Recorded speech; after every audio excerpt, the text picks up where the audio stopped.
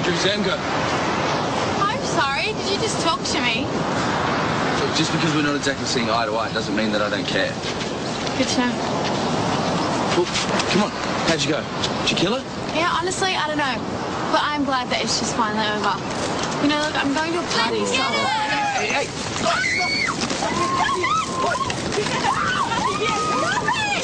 Come on, Nick. Can't take a joke. That's because it's not funny! Guys, look, my phone is ruined. And look at me, I'm a mess. Well, that's what you get for dating a rock star. Shut up. What? How long did it take you to get ready today? It's not funny. It's a little bit funny. Okay, come on. It's not that bad, right? Yeah.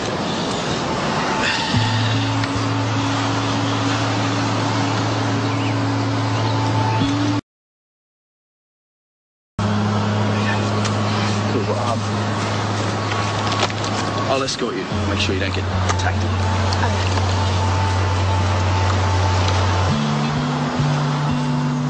I know I should have laughed it off, but I, I just guess with what happened with Miles, it made it not so funny. Yeah, well, I get that. I mean, it's pretty rough what happened to him. Yeah, I mean, not that I think it was anyone from our school or anything. I mean, they're all idiots, but they love Miles. Yeah, Miles is a good guy. To be honest, you know, if I found out who did it, boom, knock him out. Listen to you. You couldn't even stuff up your kids as super soakers. Really? Is that Yeah, so? mm. Well, do you want me to show you what I can do? Okay. Yeah, wait there for a sec.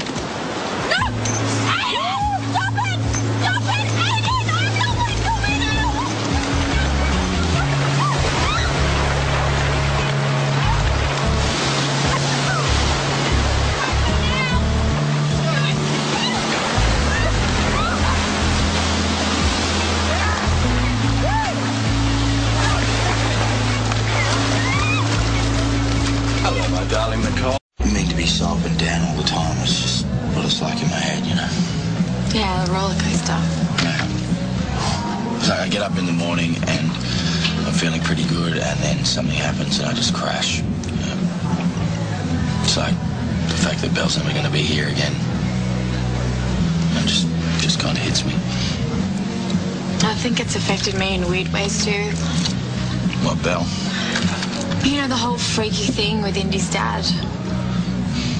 I got obsessed. It was like a massive escape from real life. Like a fantasy or something. Yeah, well, after everything that happened with your dad, you probably just needed to distract yourself. I should, I should have been there more for you. I'm sorry. You couldn't be. I wish I'd been there for you. Well, I wouldn't have let you, so you can't blame yourself for that. Glad you're talking to me again.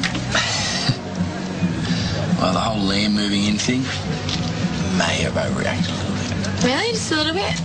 I still hate him, though, obviously. Right. He really makes you happy, though. Yeah, we're having a good time together.